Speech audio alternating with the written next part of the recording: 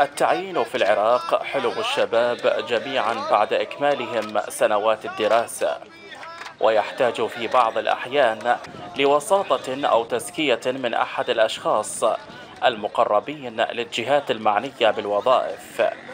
الشاب علي عبد الغفور الأول على كلية الهندسة بجامعة البصرة ما زال يبحث عن فرصة عمل بعد تخرجه من الجامعة بتقدير امتياز. علي عبد الغفور جلود من قضاء الفاو. الأول على كلية الهندسة بمعدل امتياز. نتمنى الجهات المعنية يلتفتون للأوائل ويوفرون لهم فرص عمل حتى لو بالقطاع العام. يعني مو شرط بالجامعة بأي دائرة حكومية. أنا أتألم إنه أنا عندي طاقات وإبداع وما لحد الآن ماكو أي فرصة تعيين أو ماكو أي التفاتات إلي. طاقات شبابية واعدة تحتاج إلى الدعم الحكومي الحقيقي من أجل خدمة المجتمع وتطوير عمل الدوائر الحكومية.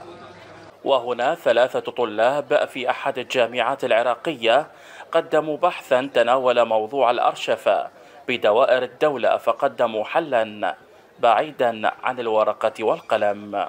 شفنا إنه عمليه الأرشفة بدوائر الدولة تكون بطيئة تكون روتينية عبارة عن سجل وورقة وقلم وتسجيل.